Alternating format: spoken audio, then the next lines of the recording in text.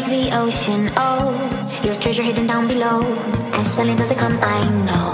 Should I be scared if you stay or go? Tell me, am I insecure? Just overly emotional? Have I fallen down, down low?